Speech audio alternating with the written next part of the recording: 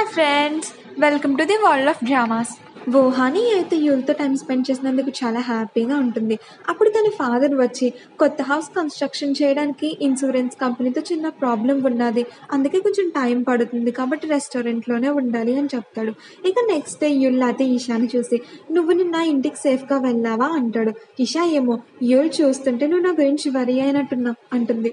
Sunday అయితే వుహానికి ఇషా ఫొటోస్ని చూపిస్తూ ఇషా తన దేవత అని చెప్తాడు. వుహాని అయితే సన్బే నువ్వు ఇషాకి నీ ఫీల్ ఫీలింగ్స్ గురించి చెప్పావా లేదా? అంటే సన్బే ఏమో నేను ఇంకా చెప్పలేదు. చెప్పాలనే అనుకున్నాను కానీ ఇషాని చూసిన ప్రతిసారి చెప్పలేకపోతున్నాను.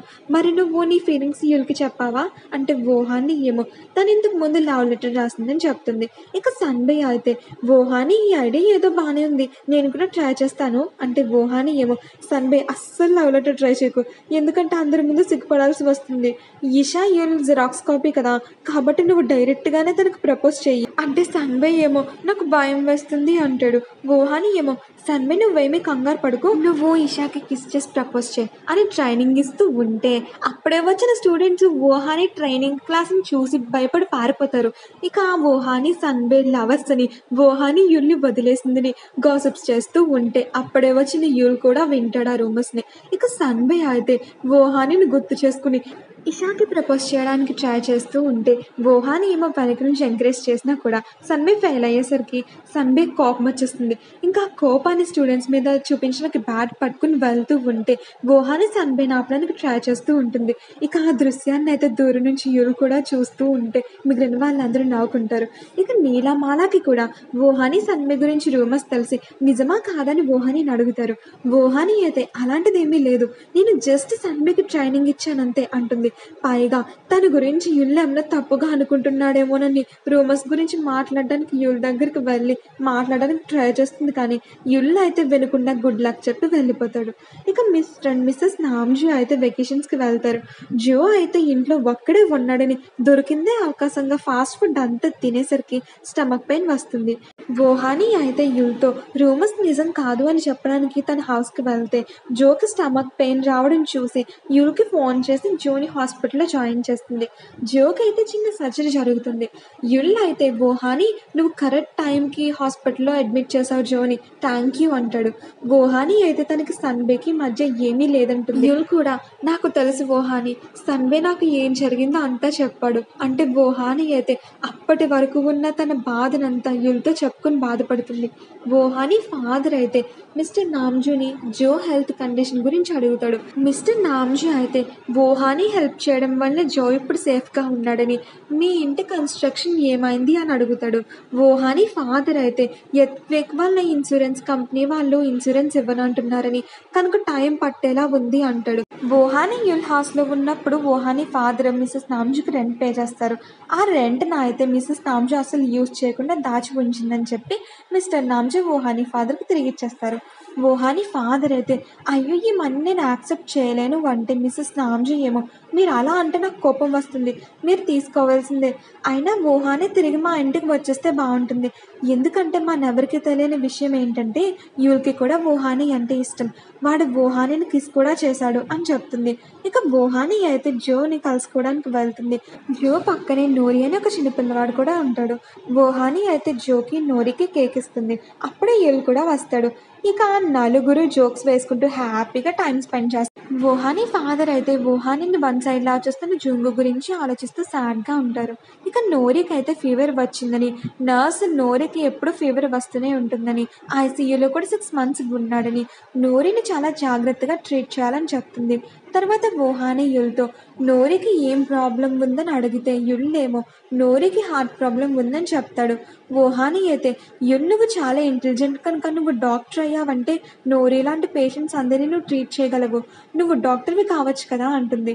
ఇక జో వోహాని యుల్ నోరికి చాలా క్లోజ్ అయిపోతారు. కానీ జో డిశ్చార్జ్ అయ్యే రోజు వచ్చేస్తుంది. కనుక జో ఓహాని యుల్ నోరిని వదిలి వెళ్తున్నందుకు ఫీల్ అవుతూ నోరిని కలవడానికి అప్పుడప్పుడు వస్తామని చెప్తారు. ఇక ఓహాని యుల్ జో ఇంటికి వెళ్ళేసరికి మిస్టర్ అండ్ మిస్సెస్ నాంజీ అయితే హాస్పిటల్ నుంచి డిశ్చార్జ్ అయిన జోకి వెల్కమ్ చెప్పకుండా ఓహానికి వెల్కమ్ చెప్తారు. ఓహాని ఫాదర్ అయితే మనం ఇక నుంచి ఇక్కడే ఉంటున్నామని చెప్తాడు. జో అయితే వాడు రూమ్ ఇవ్వడానికి ఏడుస్తాడు. ఇక ఓహాని తన ఫాదర్ అయితే లగేజ్ తీసుకువెళ్ళడానికి రెస్టారెంట్కి వస్తారు. కానీ జోంగు అయితే ఫస్ట్ టైం డంప్లింగ్స్ చేసి ఓహానికి ఓహాని ఫాదర్కి పెడతాడు. ఓహాని ఫాదర్ అయితే రెస్టారెంట్లో ఉండడం అన్కంఫర్టబుల్గా ఉండడం వల్ల యుల్ హౌస్కి తిరిగి వెళ్ళిపోతున్నామని చెప్పేసరికి జూంగు అయితే పక్కకు వెళ్ళి బాధపడతాడు. Next day Yul Yul father కారులో వెళ్తూ ఉంటారు.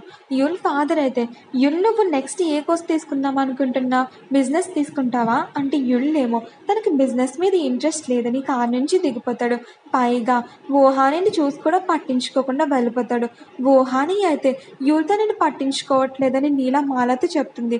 మాల అయితే ఓహాని నువ్వు ఆవలించే మెదడు ట్రై చేయి. అంటే ఓహాని అయితే ఇంగ్లీష్ క్లాస్లో ఆవలించి యుల్ కూడా ఆవలిస్తున్నాడా లేదా అని చూస్తే యుల్ కూడా ఆవలిస్తాడు. ఓహాని అయితే యుల్ తనని చూడడం వల్ల ఆవలించాడని హ్యాపీగా ఫీల్ అయిపోతూ ఉంటే క్లాస్లో ఉన్న మిగిలిన వాళ్ళు కూడా ఆవలించేసరికి ఈ మెదడు ఫెయిల్ అయిపోయిందే అనుకుంటుంది. తర్వాత ఈషా అయితే యుల్ని చూస్తుంది. ఇద్దరు మాట్లాడుకుంటూ ఉంటారు.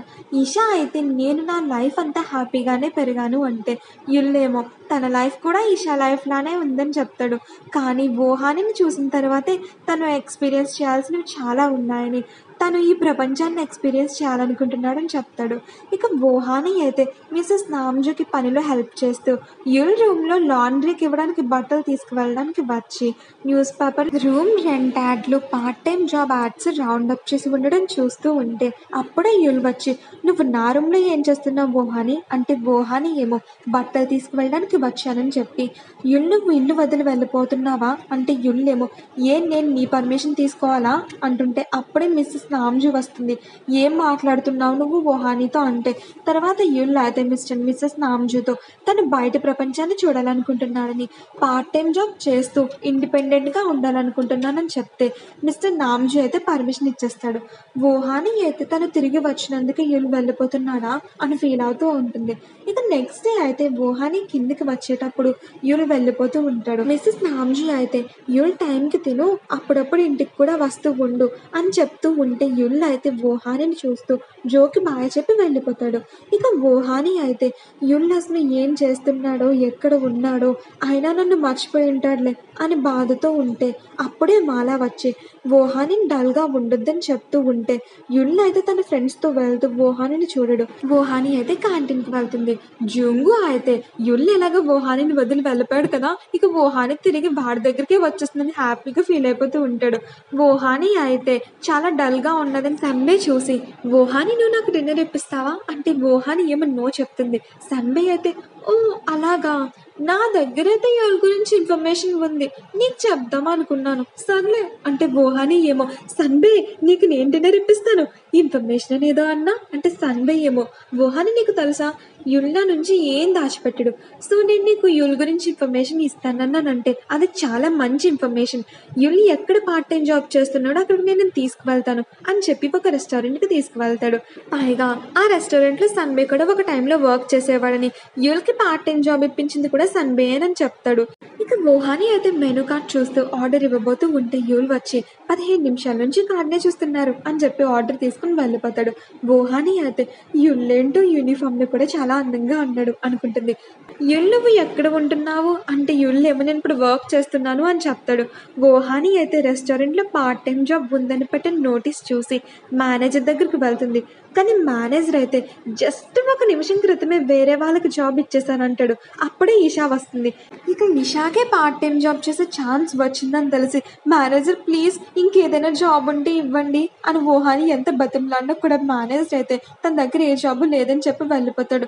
ఇషా ఏమో నేను ఇప్పుడు వర్క్ చేసుకోవడానికి వెళ్ళాలి అని చెప్పి వెళ్ళిపోతుంది. ఓహాని అయితే డిన్నర్ చేసి వెళ్ళిపోతూ ఉంటే యులు వచ్చి మేడం మీరు ఆర్డర్ చేసిన టీ తెమ్మంటారా? అంటే ఊహాని ఏమో నేను రేపు వచ్చి ఆ టీ తాగొచ్చా? అంటే యుల్ రేపు వచ్చి మా పేరెంట్స్ని కూడా తీసుకొస్తావా? అంటే ఓహాని ఏమో దాని అర్థం మీ పేరెంట్స్ని తీసుకురాకపోతే నేను రావ రావచ్చా? సరే రేపు వస్తాను అని ఇంటికి వెళ్ళిపోతుంది. మిస్సెస్ నామ్జీ అయితే వోహాని డిన్నర్ చేయడానికి రమ్మంటే వోహాని ఏమో నేను డిన్నర్ చేసేసాను ఆంటీ? అని యుల్కిచ్చిన మాటలను గుర్తు చేసుకుని మరి యుల్ ఫ్యామిలీ రెస్టారెంట్లో వర్క్ చేస్తున్నాడని చెప్పేసి యుల్ ఈ విషయాన్ని సీక్రెట్గా ఉంచమన్నాడని చెప్తుంది. మిస్సెస్ నామ్జీ ఏమో మనం ఎవరికీ తెలియకుండా గెటప్స్ చేంజ్ చేసుకుని రెస్టారెంట్కి వెళ్దాం రేపు అని ప్లాన్ చేసుకుంటారు. ఇక ప్లాన్ ప్రకారంగానే వోహాని మిస్సెస్ నామ్జు జో ముగ్గురు గెటప్స్ వేసుకుని యుల్ ఎలా వర్క్ చేస్తున్నాడో చూ చూస్తూ ఉంటే జో అయితే అమ్మా మనల్ని యుల్ గుర్తుపడతాడంటావా అంటే మిస్సెస్ నామ్జీ ఏమో మనం ఎంత కష్టపడి కెటప్ వేసుకుంటే వాడు మనల్ని గుర్తుపట్టడం ఏంటి? అని యుల్లే ధైర్యంగా ఆర్డర్ ఇవ్వడానికి పిలుస్తుంది. వోహాని అయితే ఈ రోజు స్పెషల్స్ ఏంటి? అంటే ఫిష్ ఫ్రై అని యుల్ చెప్తాడు. వోహాని అయితే అది నేను తినేసాను కదా అని యుల్కి అడ్డంగా బుక్ అయిపోతుంది. అప్పుడే ఈషా కూడా వస్తుంది. మిస్సెస్ నామ్జు ఈషాని చూసి తను కూడా యుల్తో పార్ట్ టైం జాబ్ చేస్తుందని తెలిసి తర్వాత యుల్తో ఈషాతో జాగ్రత్తగా ఉండు. తనకేం పడిపోకో అని అని చెప్తుంది. అంతే ఇక్కడికి ఈ పార్ట్ కంప్లీట్ అవుతుంది. ఫ్రెండ్స్ మరిన్ని ఇంట్రెస్టింగ్ డ్రామాస్ కోసం మన ఛానల్ని సబ్స్క్రైబ్ చేసుకోండి లైక్ చేయండి షేర్ చేయండి.